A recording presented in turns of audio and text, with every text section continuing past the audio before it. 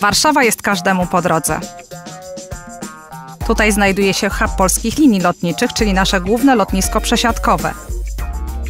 Właśnie na nim co roku przesiadają się setki tysięcy naszych pasażerów z całego świata. Szybko i wygodnie, dzięki znakomitej organizacji i świetnemu wyszkoleniu naszego personelu naziemnego. Magdalena Magielewska koordynuje pracę obsługi naziemnej. Dla Ciebie.